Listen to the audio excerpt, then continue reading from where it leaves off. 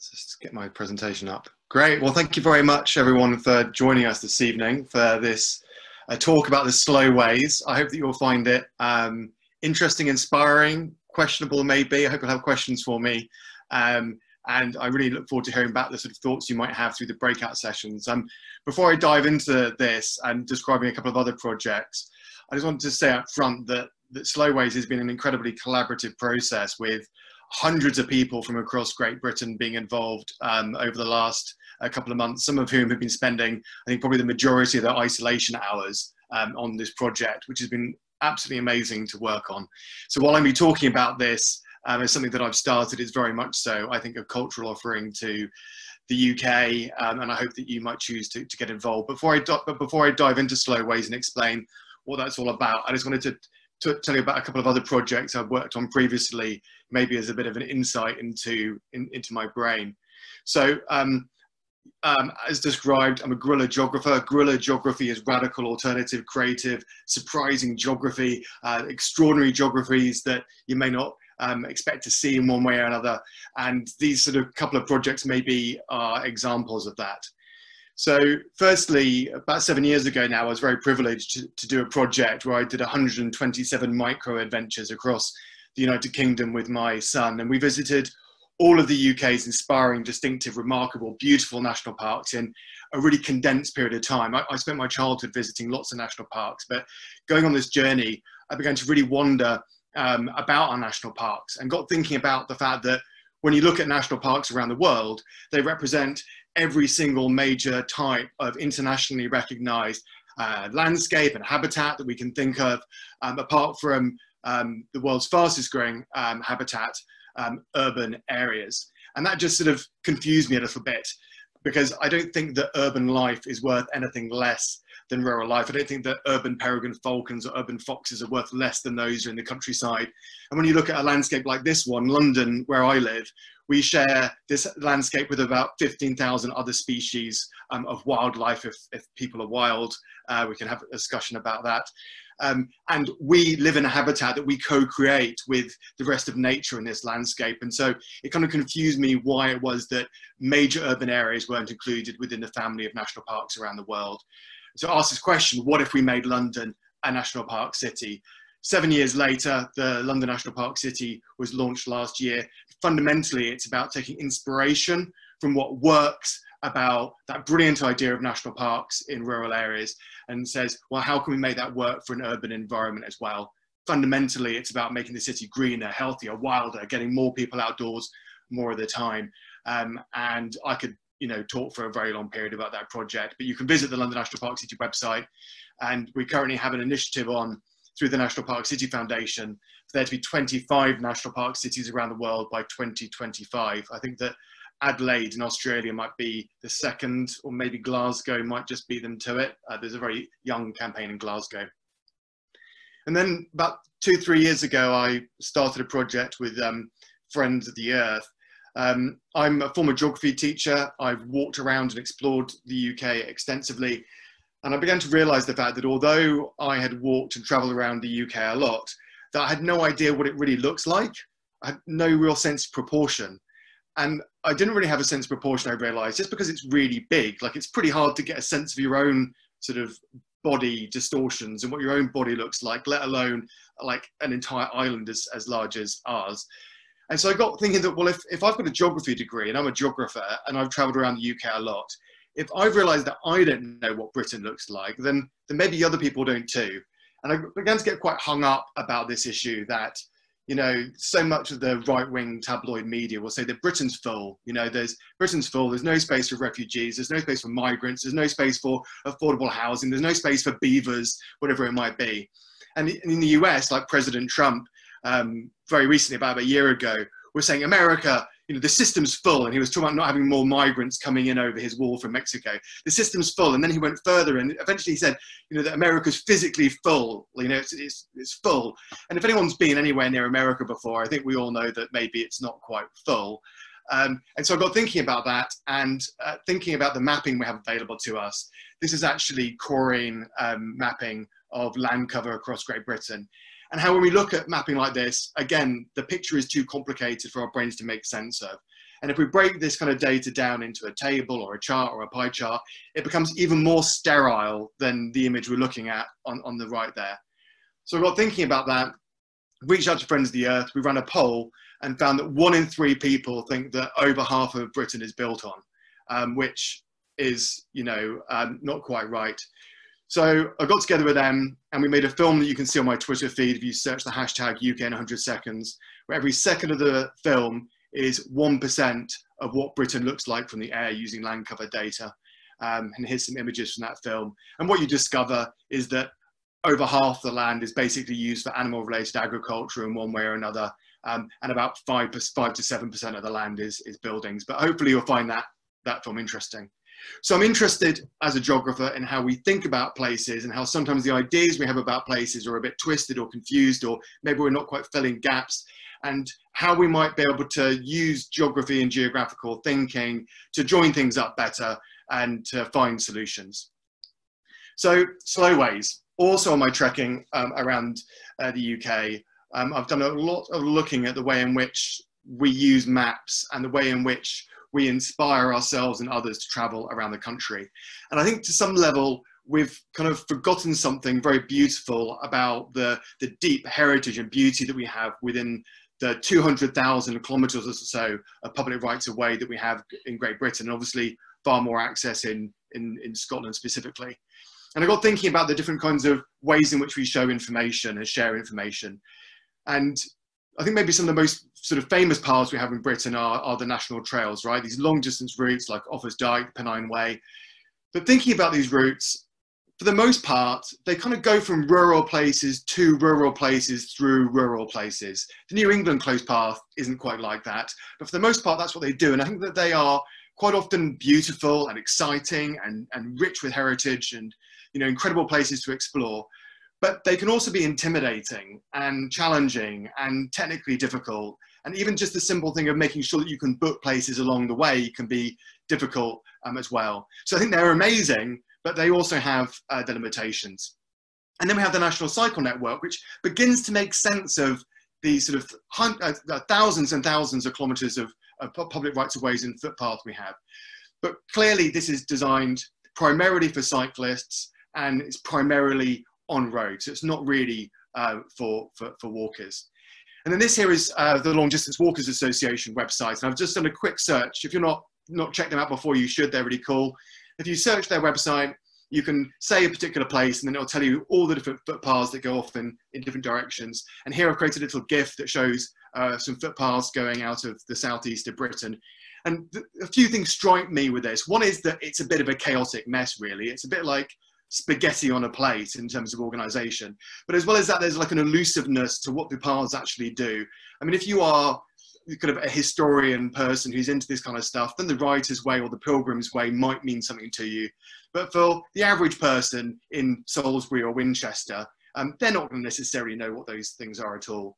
And actually, it was a walk between Winchester and Salisbury that kind of inspired me to start thinking about why is it that we've forgotten that the origins of why we have footpaths in this country is to get between neighbouring settlements. You know, we had those footpaths so you could walk to your neighbouring settlement, so you could trade, meet family, friends, have a pint, do some work, and maybe you'll go on to the next settlement or the next settlement and go on a, a pilgrimage or just go and do that for a laugh, whatever, whatever your reasons are. But it's almost like the way in which we're currently thinking about long distance footpath infrastructure and recreational walking in the country is just slightly out of kilter. It's almost like we start in the countryside, we might accidentally go through a town or village and then we finish in the countryside rather than just connecting up the places where the transport hubs are and crucially where people live and where people are most likely to want to go. And I think another good example of that is this here. This, this is OS's map that they put out um, every year or so of where the most routes have been made in, in the country. Um, and I must say that Slowways OS have been a fantastic collaborator on the project. And so what this does is, and this often goes into the, the, news, is it gives the illusion that the most activity in terms of outdoor recreation is happening in the national parks and in the countryside. And yes, brilliant places, fantastic places, and there's a lot going on there. I'm not saying that's not the case. But when we look at the Strava maps to show where most people are walking and running through GPS trails, we see that it's mostly actually the activity in cities where in reality, people are actually doing things. So I got thinking about the primary destinations we have in this country that both the Department for Transport map out and also Ordnance Survey map out on their maps. And they create these primary destinations based on populations of people, uh, cultural places of cultural importance, transport importance, and then they're slightly bent and skewed as well um, because of uh, differences in populations around the country. And I got thinking about like the really old mapping that we have from around the world, where people used to sail across oceans and create these sort of straight lines connecting places. And just started to play around with this idea of there been this geometric network that could cartographically be more appealing to the eye in terms of imagining how we might get around the country. Um, and starting to create these interesting sort of triangular uh, patterns as well, which the, the country kind of naturally brings out to you because of the way that the settlements have formed and their distribution apart from one another. And there's two sort of thoughtful, playful ideas that came off this for me. One, the first one, which is just playful and maybe a bit silly, and the second one, which is what I like most about this project. The idea that maybe someone might choose to go on a triangular walk, where on a Friday night they finish work, they get a train somewhere, they walk to a neighbouring settlement, which might be 10 or 20 kilometres away. They then have, have a meal somewhere, and then the next day and stay there the night. The next day they go to the next settlement, and then on the Sunday they return back again. So you can imagine these kind of triangular routes. And what's what what I think is really great about this is it opens up the inclusivity and accessibility of the potential to go on longer walks.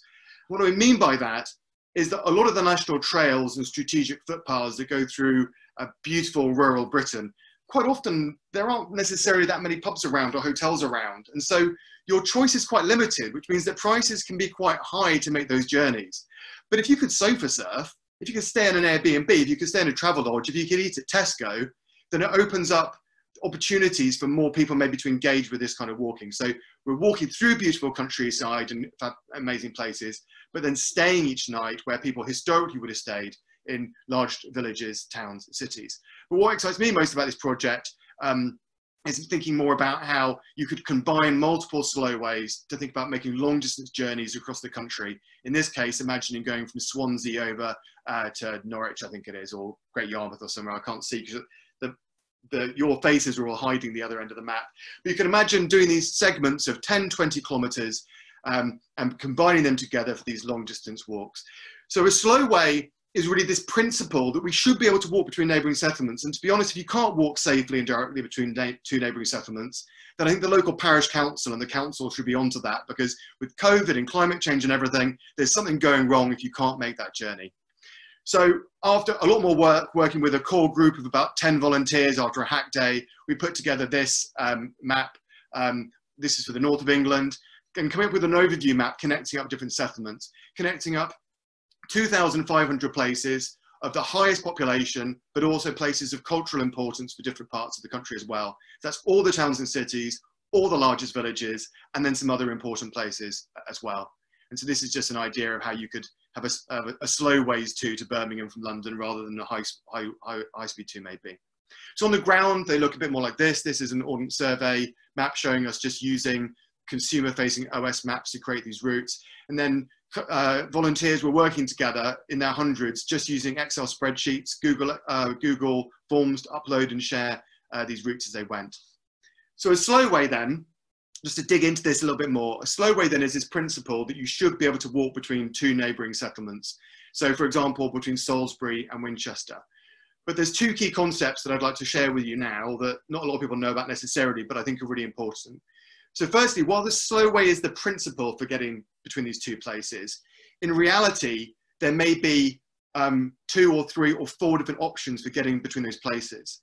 And the reason for that is this idea of what we're calling doability, right? So when we call it doability, because doability is different from accessibility, because doability is saying, well, what do you bring to the party as well as what does the landscape offer you, right? So um, some people, for example, may not want to walk down a canal going through a city. Some people might not want to walk over a mountain pass. Some people might need to avoid uh, kissing gates. And so we can have different route options for different types of people depending on their needs. Equally, when combining journeys over a long distance, we might be able to say, oh, you, know, you don't want to walk more than 10 or 15 kilometers a day. So this is the best combination of routes to make that journey. But as well as that, this means that this principle is backwards compatible to other routes that already exist. Because, for example, the Pilgrim's Way, which also connects Salisbury and Winchester, can fit into this as a route option for making that journey. but as well as that, and this is the bit that makes the project really complicated, but is really cool as well, is that um, that we're not really trying to get a single route to get between two places, right? That's not necessarily the aim, which makes it harder for mapping and signage and all that kind of stuff. We've got this idea, I've got this idea in my head, and I'm sure you will all appreciate this, of there being almost like an ecological succession of routes. So in the first phase of the project, we've created the pioneer routes, and those first routes may or may not be the best routes. But rather than politically renegotiating the angles and, and places that the routes go to, instead it's about iterating so that other people can suggest better routes in the future. And then by voting on them and rating them, we can then surface the best routes and find almost like a climax community of the most direct, most healthy, easiest routes to take. And those are the maps, maybe in some distant time, we can think about becoming more like permanently established, if that makes sense. So when volunteers were working on slow ways, and I'll just whiz through these, we used a set of uh, a methodology for thinking about how the route should be designed. They need to start and finish at a good central point, like a train station or a bus station. Be direct. They're called slowways, but that doesn't mean they need to zigzag all around the place. Be off-road, be safe and accessible, have resting points every five to 10 kilometers where possible. Not possible uh, in parts of Scotland um, very much. But basically, they were looking at looking for pubs on OS maps as an, an indicator of a good place where there's likely to be somewhere where you can stop and sleep and have a pint and that kind of stuff. That they should pass through transport hubs where possible. They should be enjoyable and beautiful, and where possible, used established routes. But a really clear instruction was that number seven and eight were the least important. Okay, so it's far more important that the route is direct and accessible and off road than it is that it's beautiful. Because there are plenty of people out there telling us routes that are beautiful, right? And there's nothing stopping people from making a slow way more beautiful if they want to, and many of them will be beautiful anyway. But primarily, this is about connecting places, so the directness is important. So in reality, the network looks a bit like this. It's all wiggly. And this is just a, an illustration of this journey from Swansea over to um, um, Norwich to show you the example of how on this particular journey, it, there may be a best way, but there might also be multiple best ways depending on your needs, um, which I think is really cool. So phase one was about creating a first draft and a provocation. 7,500 routes. What do you think, everybody? Um, we had 700 volunteers volunteer during lockdown, create 7,500 routes that stretch for 120,000 kilometers, which is the equivalent of 2.5 laps of the equator, all in about a month. I mean, we spent about another month preparing for that and another month uh, currently dealing with a snagging list of hundreds of problems to deal with. But basically, it was a month of work, which is awesome. The next phase is to go and explore the routes, test them, and to make sure that they all work. So what I'm hoping we'll achieve by this autumn is to have set up a website that can handle lots of people volunteering and feeding back and creating new routes. And I hope to recruit 10,000 volunteers from across Great Britain to walk routes from anywhere between five kilometres and 60 kilometres. The average one is 15 thousands are under 10 kilometers, but in Scotland, there's some really gnarly ones uh, to contend with. So 10,000 volunteers, and it'd be wonderful if any of you wanted to help um, either test routes or help to get them established on the ground in one way or another. Thank you very much.